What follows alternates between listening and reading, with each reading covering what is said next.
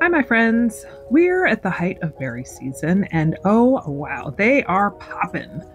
I love making fresh jams from scratch, so let's pick some salmon berries. Oh, and if you're new here, welcome. I'm Bex, an empty nester living on a remote island in southeast Alaska. I'm just over here booping and bopping and sharing 365 days of my life with you. Thanks for coming along.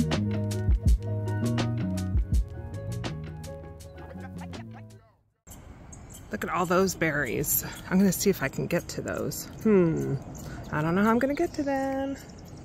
So many blueberries too. Look, I got a bunch of them.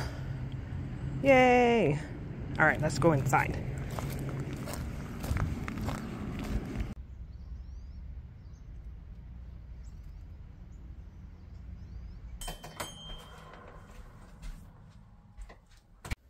I found quite a bit of berries.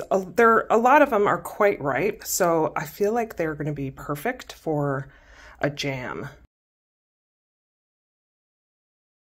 So I have these berries that I got yesterday.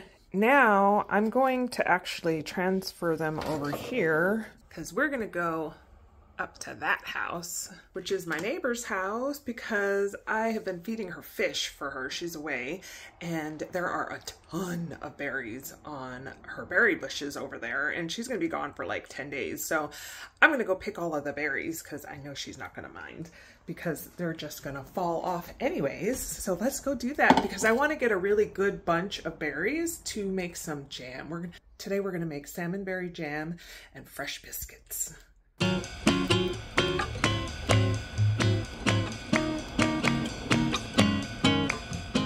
Okay, here are the berry bushes. Yeah, there's lots of good ones. All right, let's get to picking.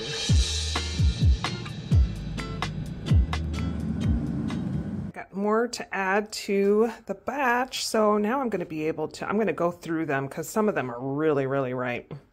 I mean, they're going into a jam, so as long as they are debugged and all of that, they'll be good. So I'm going to clean these. And look, you all, it's my first strawberry off of my strawberry plant. Let's see if it's good. Mmm, sweet and yummy. Oh, that was delicious. It was so tiny, little baby strawberry. the berries are all washed and ready to put in the pot.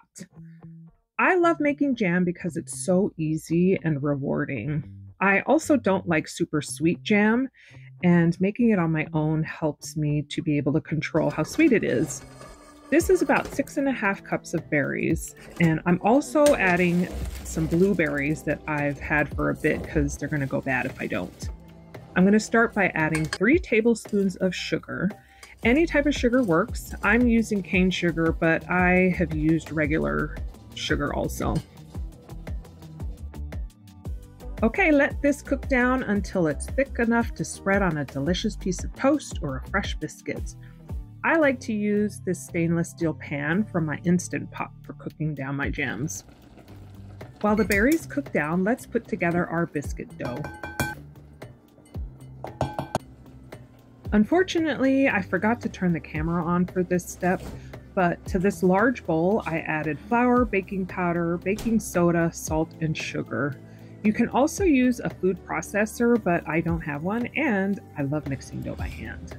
Then add your butter, or in this case, I'm using vegetable shortening. I don't normally use shortening, so let's see how it works out. Then I use my hands to break up the shortening into the flour mixture until I get it to pea-sized pieces. Next, I'm going to stir in the milk. You can use buttermilk if you have it, but I'm using almond milk because that's what I've got. I'm not going to mix this too much. I'm just doing it until it's combined. The dough should be a bit sticky. Turn the dough out onto a floured surface and dust the dough with a bit of flour. Here I'm realizing that it's a bit too sticky, so I added uh, maybe an eighth of a cup of flour to it. And then I mix it up a little bit more. Here is where you can decide what shape you want your biscuits to be. I'm going to make them more of like a square shape, so I'm using a pastry cutter to do this. Then place the biscuits on your lined baking sheet and bake until they're golden brown.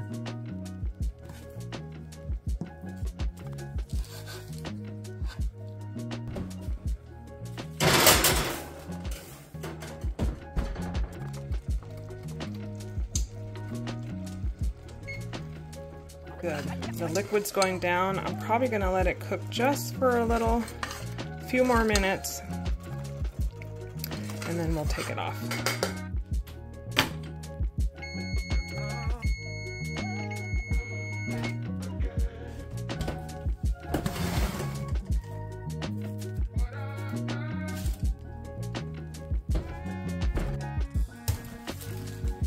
Biscuits look good. I hope they're okay because I had a little trouble with them as you saw. So hopefully they're good. We'll let them cool and this is on its way to cooling and then I'm gonna put it in this jar.